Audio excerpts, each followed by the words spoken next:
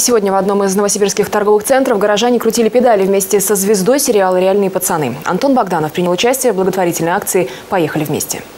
Я стараюсь поддерживать очень многие э, какие-то такие благотворительные истории, там, где люди нуждаются непосредственно в привлечении масс. И э, я считаю, что если ты актер, если ты узнаваем, твоя основная задача как раз эти массы привлекать. Я приехал сюда попросить и доказать людям, что благотворительность это не только деньги, это еще и активные действия. Поэтому мы сегодня крутим педали.